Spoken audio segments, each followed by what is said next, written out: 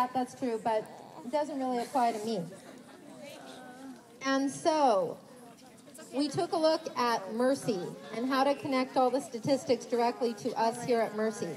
So, according to the American Cancer Society, one in eight women, one in eight women will be diagnosed with breast cancer over the course of her lifetime. One in eight. To make this more real for us here right now, let's consider Mercy. We have 520 students. One in eight out of 520 students would be 65 of you sitting here right now over the course of your lifetime. 65. We have 24 advisories, and on average, there are about 400 students, uh, 24 students per advisory. That would mean that about two and three fourths, two and three quarters advisories would be diagnosed with cancer over the course of a lifetime. Each class level is made up of at least 120 students.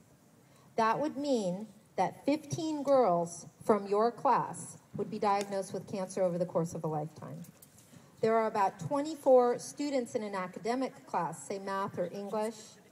Imagine your class and the girls who sit near you in that class.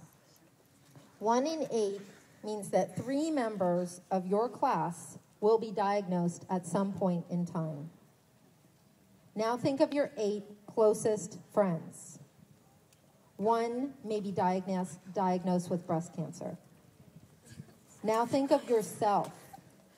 You could be that one in eight. So this issue touches all of us, male and female. And men get breast cancer too, you just don't hear about it as much.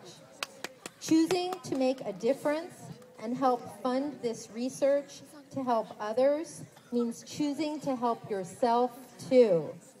We need to do this for all of us. We can't wait.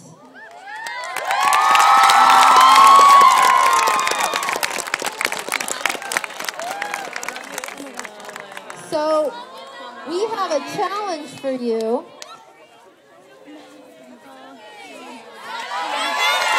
Congratulations.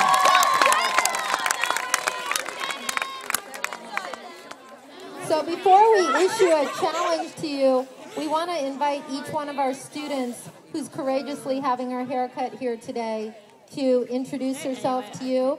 We'll give them a round of applause, and then Miss Simonetti is going to issue our challenge. Okay, I'd just like you to say your name and your grade level. My name is Jenna and I'm a sophomore. My name is Maddie and I'm a sophomore. My name is Megan and I'm a sophomore. My name is Colleen and I'm a sophomore. My name is Mallory and I'm a sophomore. Okay, girls, come forward. Fatima, come. Okay.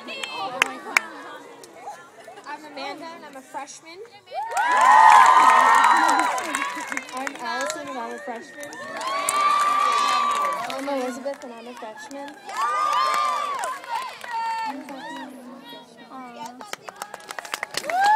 I'm Nicole and I'm a sophomore. Mallory, it's fine. I'm Michelle and I'm a junior. I'm Midori and I'm a junior.